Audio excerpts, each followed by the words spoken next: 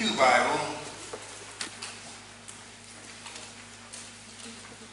that's page 1323, beginning with verse number 12 through verse number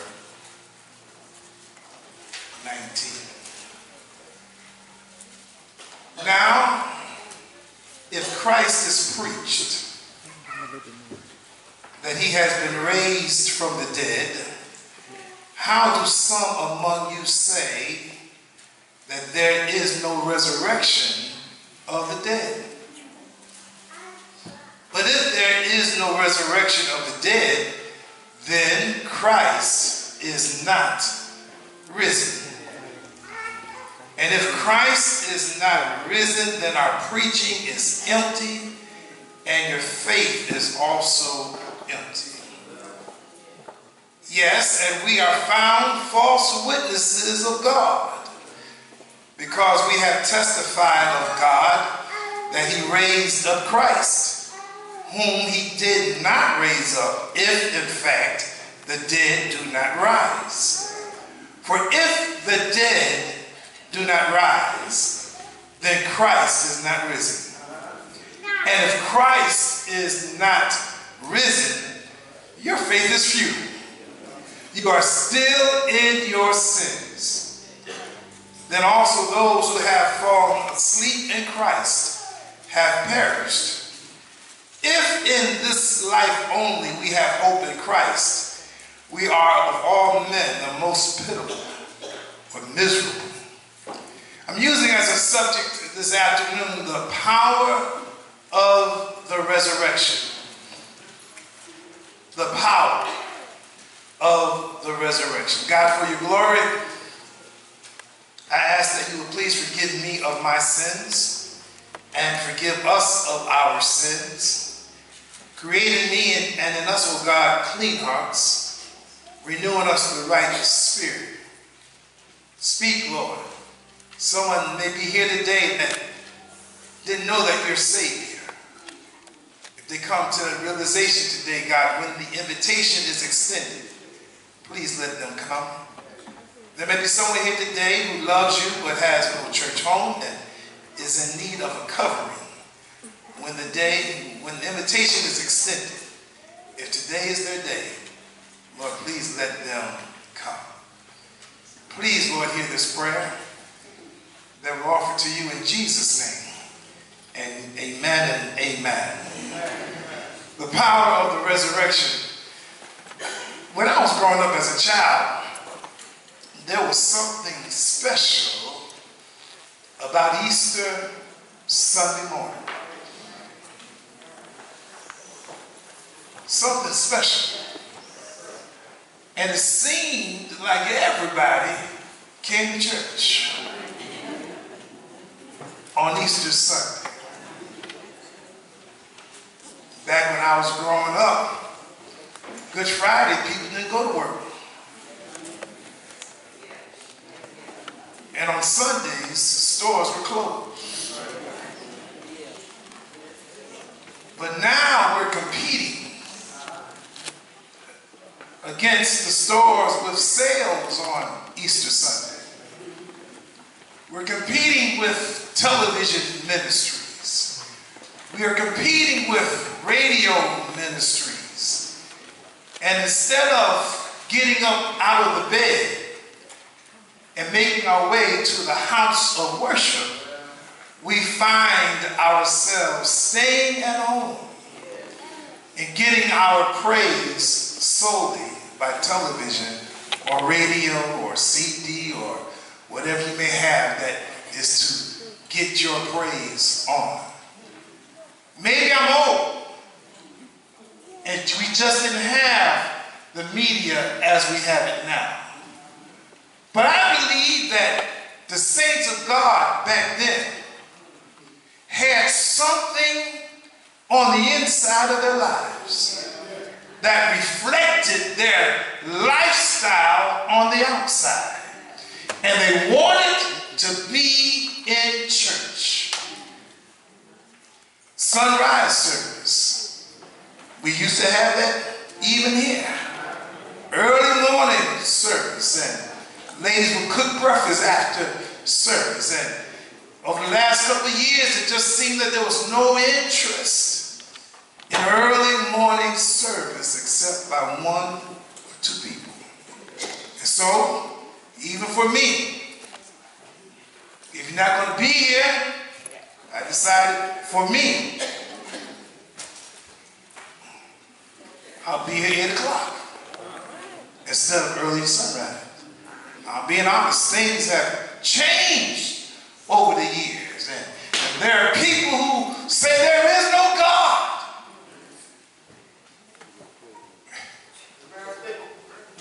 That there is no God. Don't believe anymore. Don't think about what Easter means other than Easter bunny and Easter eggs and chocolate candies and all that stuff that makes Easter today Easter. I'm trying to help believers today because it gets rough out here. And believers need to know something that's going to hold them and keep them in times of trouble, in good times and bad times. You need to understand the power of the resurrection. This day, Easter Sunday, Resurrection Sunday, I'm here to, to declare that there's power in the resurrection. Just a couple things I want to share with you, then I'm through. Uh, the power of the resurrection has power when you understand that the resurrection was justified.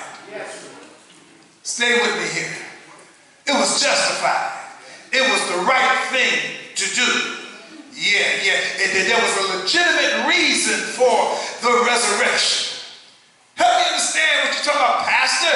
Talking about being justified. Well, it requires you to read the Word of God. And in John chapter 11, there is an account of a man named Lazarus, the brother of Mary and Martha, who had died. Beginning with verse number 17, you got to read the chapter for yourself, but beginning with verse number 17, it reads, So when Jesus came, he found that he had already been in the tomb four days. Talk about that Lazarus. Now Bethany was near Jerusalem, about two miles away, and many of the Jews had joined the women around Mary and Martha to comfort them concerning their brother. Lazarus was dead.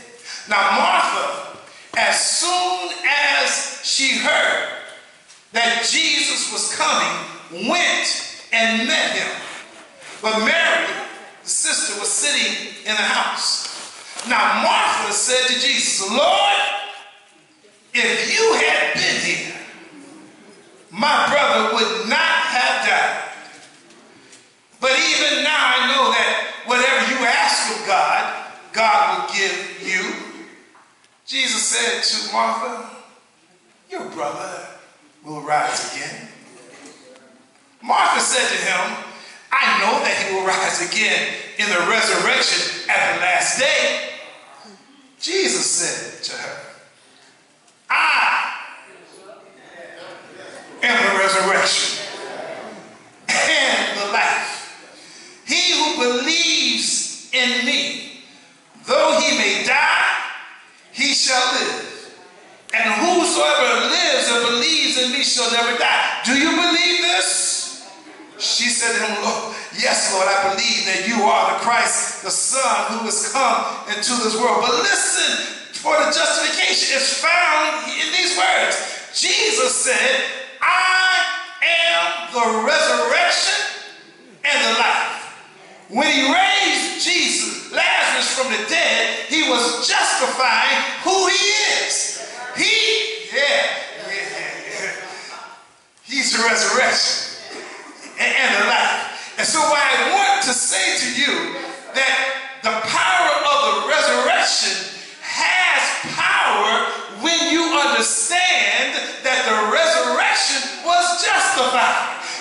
Jesus had to show who he is. He wanted people to know who he is. I am the resurrection. Are y'all with me here? I just want y'all to have power to understand this. And if you don't believe, you'll never grasp this. But if you look at what Jesus said, it will help you. And then, and then the power of the resurrection has power when you understand the evidence of the resurrection. Think about it. The power of the resurrection has power when you understand the evidence of the resurrection. Help me understand, Pastor. John chapter 20, beginning with verse number 11. But Mary stood outside by the tomb weeping. And as she wept, she stooped down and looked into the tomb. And she saw two angels in white sitting one at the head and the other at the feet where the body of Jesus had lain. Then they said to her, Woman, why are you weeping? She said to them, Because they have taken away my Lord, and I do not know where they have laid him. Now, when she had said this, she turned around and saw Jesus standing there and did not know who that it was Jesus. Jesus said to her, Woman, why are you weeping? Whom are you seeking? She, talking about Mary, supposing person to be a gardener, said him, Sir, if you have carried him away, tell me where you have laid him, and I will take him away. Jesus said to her, Mary. He just called her name. Jesus said, Mary. She turned and said to him, Rabboni, rabbi, which is to say, teacher. Jesus said to her, Do not cling to me, for I have yet not yet ascended to my Father, but go and tell my brethren and say to them, I am ascending to my Father and your Father, and to my God and your God. Mary Magdalene came and told the disciples that she had seen the Lord. I'm talking about the evidence, and that he has spoken these things to her. My brothers and sisters, to understand the power, to have the power of the resurrection, you need to understand the evidence of the resurrection. Mary saw Jesus, and she went to tell the disciples that she saw the Lord. But you, you, you, you're too quiet for me. Give me some more evidence, Pastor. John chapter 20. Now Thomas, called the twin, one of the twelve, was not with them when Jesus came. You know, Jesus showed up to his disciples. But Thomas wasn't there that first time. The other disciples therefore said unto him, Here's evidence, we have seen the Lord. So this is Thomas. So he said to them, Unless I see his hands, the print of the nails, and put my finger into the print of the nails, and put my hand into the side, I will not believe. You got to show me. Those of you from Missouri, not to be offensive, but y'all got just saying I'm the show me seat. You got to show me here. And so, somewhere Jesus was listening. And eight days later, his disciples were inside again. And Thomas was with them this time. Jesus came in. The doors were shut. And stood in the midst of the disciples and said, Peace to you. Then he went to Thomas. He went to Thomas straight up. Peace to you. Hey, hey, everybody. Thomas. Just went direct to him. Thomas, reach your finger here and look at my hands.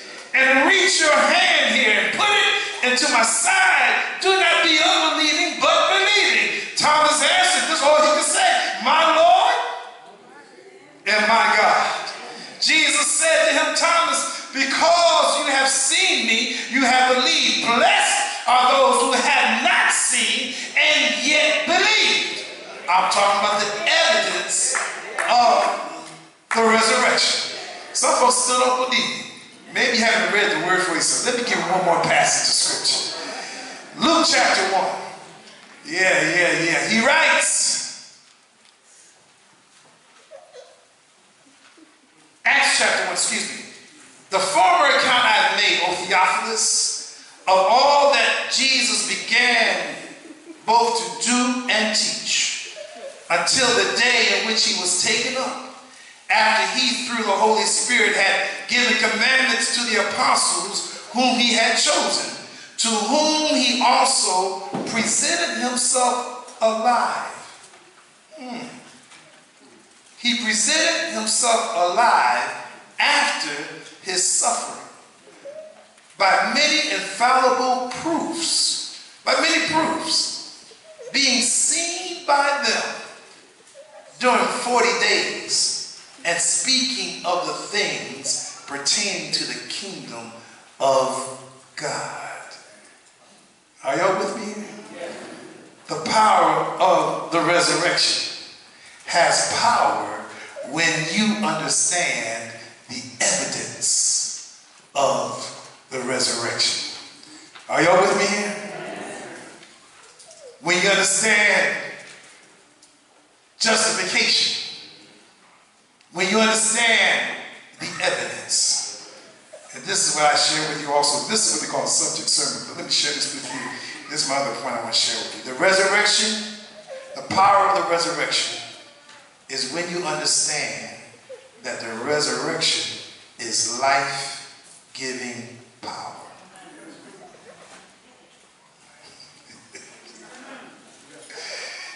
it's life giving power. The resurrection is life giving power. That's why I say to folks, don't keep Jesus in the grave. I'm trying to give you power. Get him up. I'm so glad he Don't keep him in the grave. We can celebrate resurrection now. You got to understand that there's life giving power when you understand the resurrection. And so, what I want to say to you is this life giving power involves your faith, your trust in the power of God. This life giving power is personal because we're living in a world where they're saying God is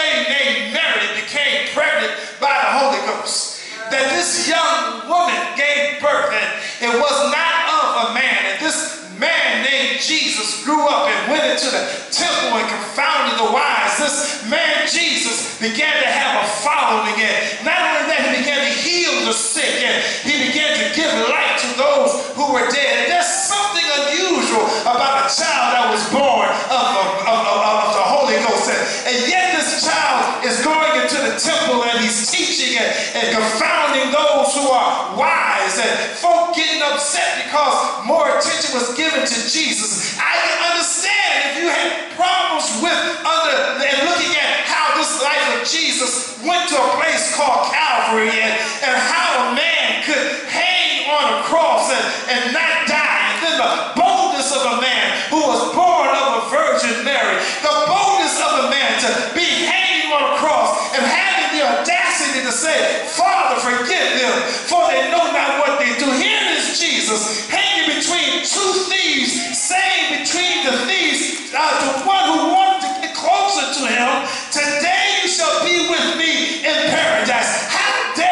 Jesus, as he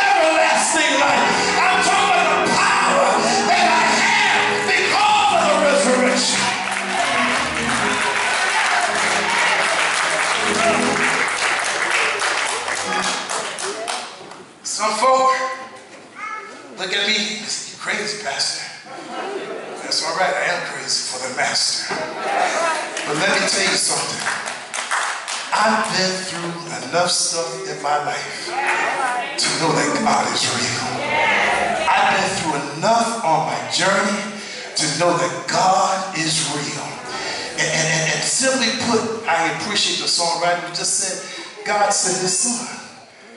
They call him Jesus. He came to love, heal, and forgive. He gave his life to buy my pardon. An empty grave is there just to prove my Savior lives. And because he lives,